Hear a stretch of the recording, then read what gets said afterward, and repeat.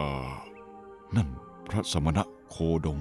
ที่พวกเราเคยปรนนิบัติรับใช้อยู่ระยะหนึ่งนี่นา ใช่จริง ๆ ด้วย อยู่ๆก็เลิกบำเพ็ญเพียร เอาอย่างนี้ ถ้ามาถึงพวกเราจะไม่ไหว้ไม่ลุกขึ้นต้อนรับ ปูแต่อาสนะเอาไว้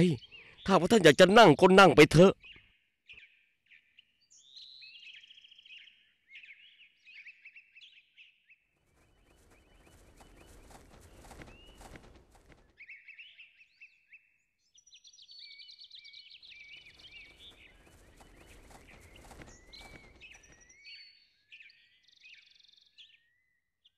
ดูสิ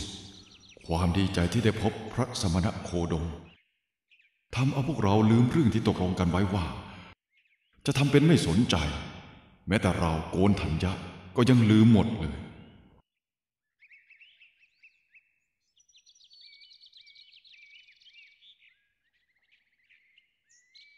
ท่านสมณะโคดมทำไมที่ได้มาพบกับพวกเราที่ป่าแห่งนี้ได้ล่ะ พวกท่านอย่าได้เรียกเราเช่นนี้เลย บัดนี้เราได้บรรลุธรรมโดยชอบแล้ว พวกท่านจงตั้งใจรับฟังเถิด ถ้าปฏิบัติตาม ไม่นานพวกท่านจะได้บรรลุธรรม ในขณะที่ท่านบำเพ็ญทุกขกริยาเป็นเวลาช้านานนั้น ท่านยังไม่อาจบรรลุธรรมพิเศษได้เลย เมื่อท่านเลิกความเพียรเป็นเหตุให้พวกเราต้องจากมา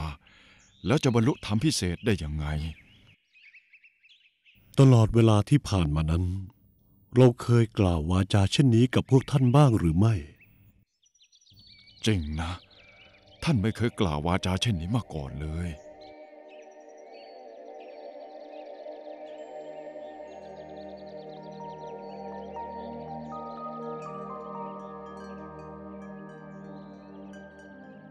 การพัวพันด้วยความสุขในกาม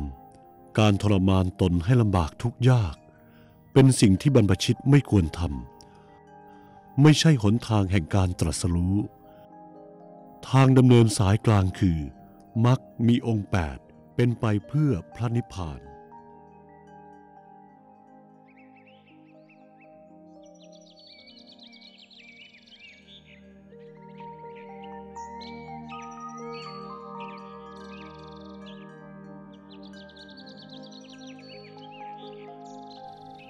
อริยสัจ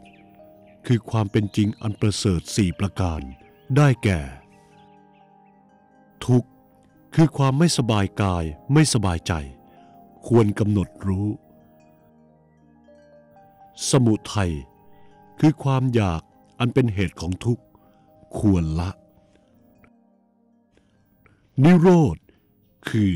ความดับทุกข์ ควรทำให้แจ้ง และมักคือข้อปฏิบัติให้ถึงความดับทุกข์ ควรทำให้เกิดขึ้น พระพุทธองค์ทรงแสดงปฐมเทศนาจบแล้ว ท่านโกนทัญญะได้ดวงตาเห็นธรรมสำเร็จเป็นพระโสดาบันคนแรก อัญญาโกนทัญญะ อัญญาโกนทัญญะ โกนทัญญะรู้แล้วหนอ ข้าพระองค์ ขอบรรพชาเป็นพระภิกษุในพระพุทธศาสนา เธอจงเป็นภิกษุมาเถิดทำอันเรากล่าวดีแล้ว จงประพฤติพรหมจรรย์เพื่อทำที่สุดแห่งทุกข์โดยชอบเถิด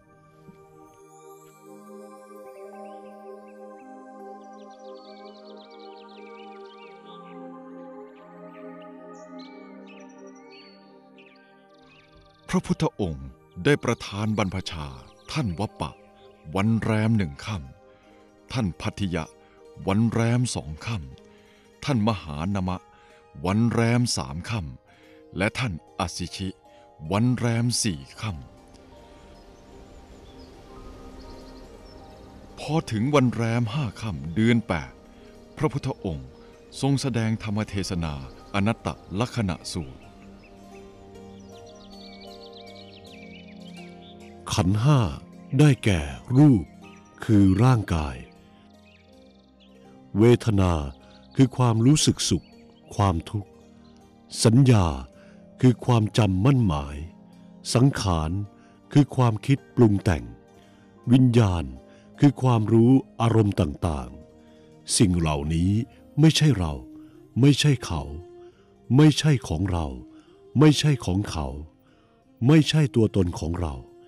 ไม่ใช่ตัวตนของเขา สิ่งเหล่านี้ไม่เที่ยง